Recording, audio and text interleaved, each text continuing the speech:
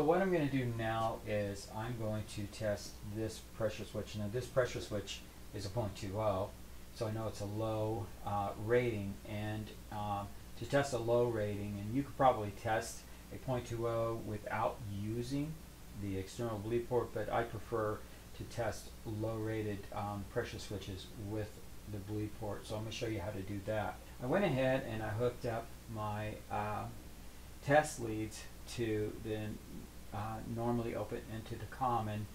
If you were to um, test a pressure switch without the external bleed port and its very low rating, it may be very hard for you to uh, obtain the readings that you need. So what I'm going to do is go ahead and plug this onto the pump port of the SDMN6 and then I'm going to plug um, one of the tubings onto that. So you, you, can see it should look like this as well.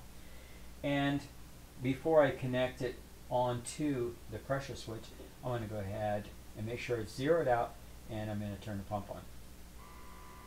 So while that's happening, I'm just going to go ahead and disconnect the tubing from the pressure switch. And as soon as it's down like this, I'm going to go ahead and uh, plug onto the negative port of the pressure switch, which went to the inducer. And I'm going to go ahead and do the auto hold. And um, I'm going to press the hold uh, button, and then you can see the indicator did come up on there saying hold, and I'm just going to press and hold the up arrow. So we're going to see exactly when that switch does close. You can hear the pump increase.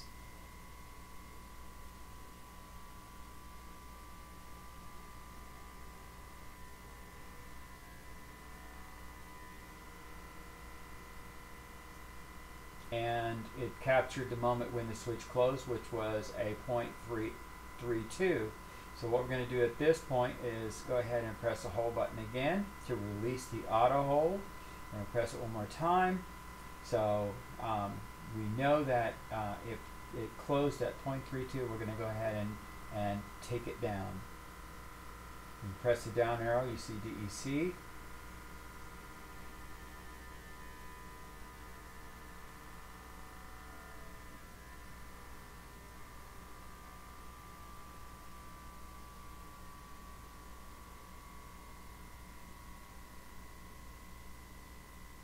And we see that the switch did uh, actually open at 0.22 and it's kind of like in that area. So we did capture, it did open at 0.22 and uh, it closed at 0.32. So this is out of calibration uh, as far as uh, closing is concerned, but it's within calibration as far as opening is concerned. Um, so this particular switch uh, should probably be replaced.